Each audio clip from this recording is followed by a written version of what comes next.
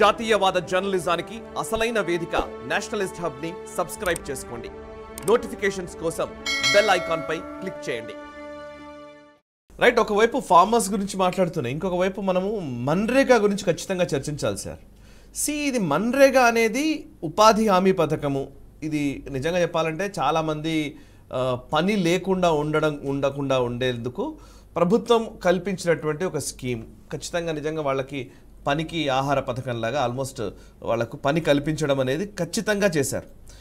Compulsory చేశారు. So MNREGA నిజంగా తప్పుదోవ పడుతోంది. దీనివల్ల ఉపయోగం లేకపోగా నష్టం ఎక్కువ అవుతోంది అనేది ఇంకొక అభిప్రాయం. ఎందుకంటే ఇప్పుడు పల్లెటూళ్ళలో చాలా వరకు కూలీలు దొరకట్లేదు.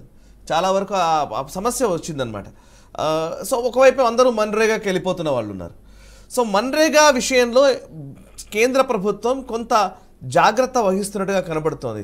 దాని నంబర్ తగ్గిస్తు తగ్గించడానికి సుముఖత వ్యక్తం చేసినట్టుగా మనకు నంబర్స్ చూస్తుంటే అర్థమవుతుంది.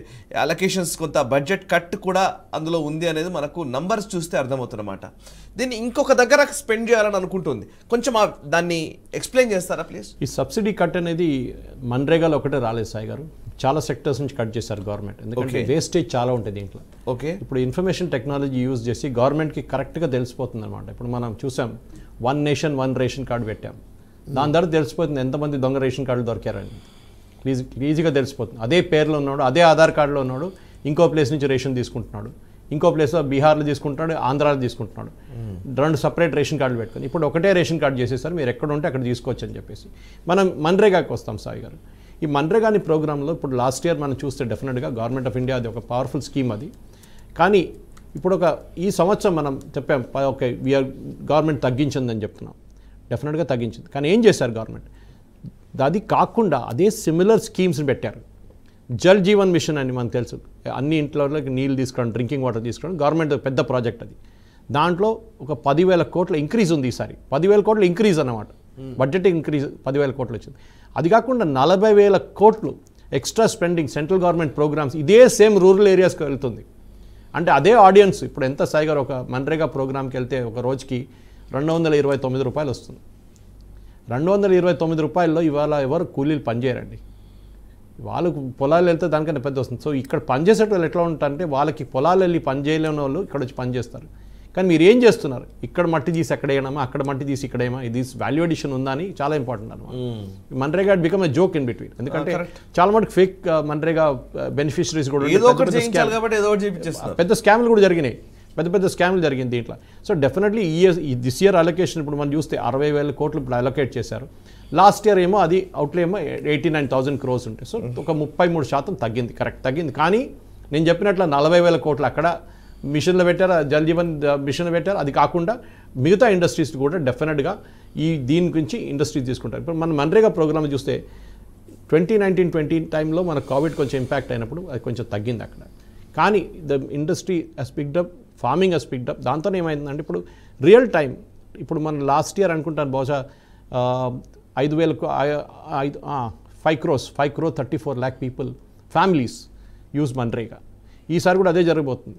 కానీ బడ్జెట్ అలొకేషన్ తగ్గించినప్పుడు కొన్ని ఫ్యామిలీస్ తగ్గుతుంది. కానీ జల్ జీవన్ మిషన్ లాంటి మిషన్స్లో డెఫినెట్గా they will see more investment దాంట్లో ఇంకా ఎక్కువ ఖర్చు పెడతావు సెంట్రల్ గవర్నమెంట్ స్కీమ్స్ ఉన్నాయి.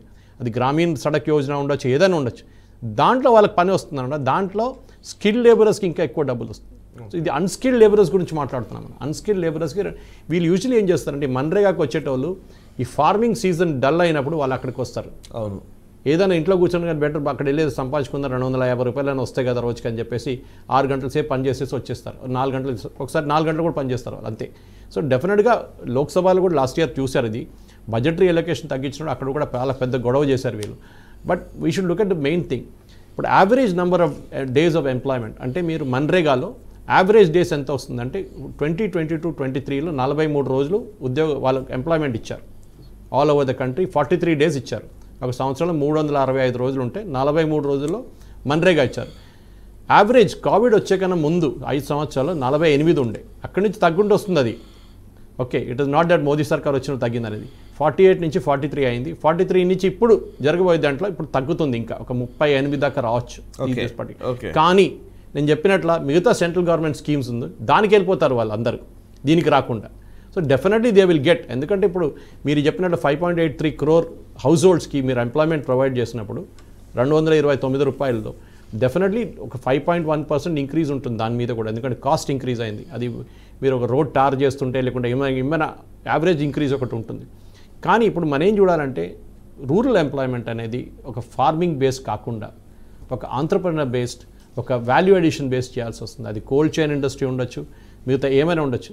కానీ మనం ఈ ఫార్మింగ్ మీద ఓన్లీ డిపెండెంట్ అయితే మనకు చాలా పెద్ద రిస్క్ ఉంది ఎస్పెషల్లీ యంగ్స్టర్స్ ఇప్పుడున్న యంగ్స్టర్ అదే చెప్తున్నారు ప్రధానమంత్రి గారు కూడా అదే బడ్జెట్లో ఇండికేట్ చేశారు that we have to encourage more youngsters to become entrepreneurs అది పంజాబ్లో చూస్తున్నాం చాలా మటుకు. ఈవెన్ ఆంధ్ర తెలంగాణలో కూడా నేను చాలా మంది సక్సెస్ స్టోరీస్ చదివాను. కరెక్ట్ ఇంజనీరింగ్ చేసి వచ్చేవాడు ఇప్పుడు పొలాల్లో పని చేస్తున్నాడు అంటే పొలాల్లో పని చేయడానికి కాదు.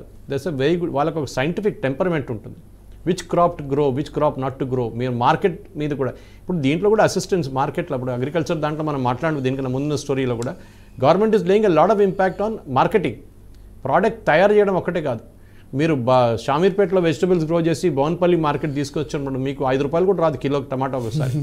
కానీ అదే టమాటో బోన్పల్లి మార్కెట్ నుంచి బయటకు వెళ్ళంగానే వితౌట్ ఎనీ వాల్యూ అడిషన్ ఇరవై రూపాయలు అవుతుంది. అవును మధ్యలో ఉన్నవాడు తీసేసుకుంటాడు. తీసేసుకుంటున్నారు. ఏపీ ఏఎంసీ వాళ్ళు కూడా కొట్- కొట్టేసుకుంటున్నారు. అగ్రికల్చర్ మార్కెటింగ్ కమిటీ అది కాకుండా రైతు మార్కెట్కి వచ్చేసరికి ఆ లోడ్ దించాలంటే రేటు వేరే ఉంటుంది. లోడ్ దించిన తర్వాత బండి మీదకి వచ్చిన తర్వాత ఈ మధ్యలో ఉండేవాడు ఒక్కడు ఉంటాడు. పోనీ బండి పైన అమ్మేవాడన్నా బాగా లాభం పొందుతున్నాడంటే వాడు పొందడు ఈయన పొందడు. మధ్యలో ఉన్న వాళ్ళు జస్ట్ ఇట్లా మార్చినందుకు మోదీ గారు. ట్రై చేశారు ఫామ్ లాస్ అని చేంజ్ చేయడానికి. మీరు ఎక్కడైనా అమ్మేసుకోవచ్చు అని చెప్పేసి. కానీ ఇప్పుడు ఆ పదే పాత రూల్కి వెళ్ళిపోయిన తర్వాత ఫార్మర్స్ ఆర్ ఫోర్స్డ్ లేకుంటే వాళ్ళు ఎవరికైనా అమ్ముకుంటారు. ఇప్పుడు రిలయన్స్ అక్కడ వెళ్తే బోన్పల్లి మార్కెట్కి వెళ్తే వాళ్ళకన్నా ఎక్కువ రేటు ఈ రిలయన్స్ వాళ్ళు ఇస్తున్నారు. అవును. రిలయన్స్ వాళ్ళు ఇస్తున్నారు. నేను చూశాను మొన్న కూడా. వాళ్ళు ఐదు రూపాయలు అంటే రిలయన్స్ వాళ్ళు పది రూపాయలు కొనుక్కుంటున్నారు. ఎందుకంటే వాళ్ళకి they want a product desperately so వాళ్ళు ఎక్కువ డబ్బులు పెట్టి తీసుకుంటారు వాళ్ళు. కానీ విన్ దిస్ కేస్ మనం బడ్జెట్ గురించి మాట్లాడుతున్నాడు డెఫినెట్లీ ఈ మన్రేగా స్కీమ్లో కూడా వాల్యూ అడిషన్ ఉండాల్సిందే. ఏదో మట్టి తీసి ఇక్కడి నుంచి అక్కడ ఏం అక్కడి నుంచి ఇక్కడ ఏం కాకుండా we should also look at value addition to the entire thing and definitely ఈ బడ్జెట్ గురించి మాట్లాడితే ఒక వంద పాయింట్లు ఉన్నాయి సాయి గారు. ఒక్కొక్కటి మాట్లాడుకుంటే వెళ్ళిపోవచ్చు చాలా ఉన్నాయి so we can. Speak for couple of hours ఇది నడుస్తూనే ఉంటుంది కరెక్ట్